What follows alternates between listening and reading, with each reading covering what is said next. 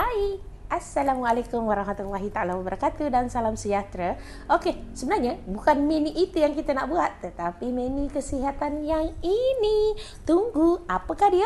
Hmm, ha, kita nak buat kalau orang Kedah dia panggil asam picit. Ha, apa yang kena picit tu?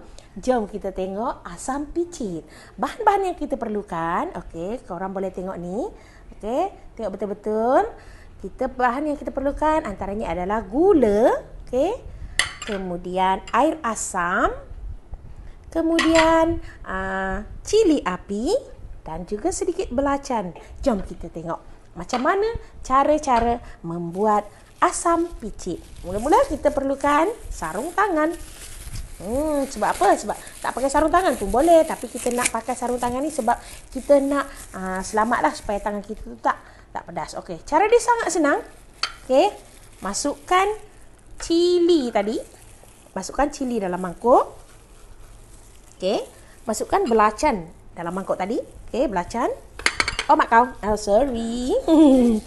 Dan kemudian kita tuangkan air asam tadi. Ah, tuang. Air asam ni pekat ya sebab ini adalah air asam yang original. Ha, nampak eh?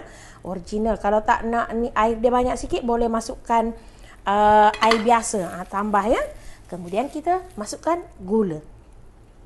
Alright. Dan picit-picit je. Sebab tu dia panggil asam picit. Sebab kita nak picit-picit je. Ha. Picit-picit. Boleh tengok ni. Okay, tunjuk sikit. Tunjuk lebih dekat sikit. Ah, ha, tengok sini sikit. Kita picit-picit. Picit-picit. Kita picit lagi. Sampailah semua sebati. Ha. Cili ni kita patah-patahkan je. Ha, macam tu. Hmm, sedapnya. Dengan belacan-belacan ni, bau dia Mengancam guys, mengancam.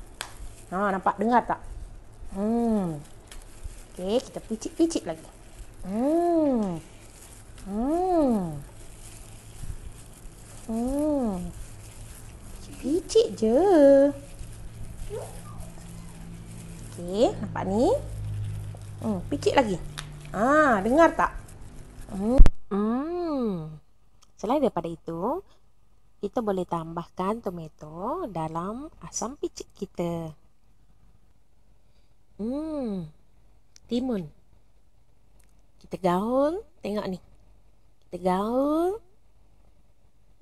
Bismillahirrahmanirrahim. Hmm. Sedapnya. Terbaik. Selamat mencuba.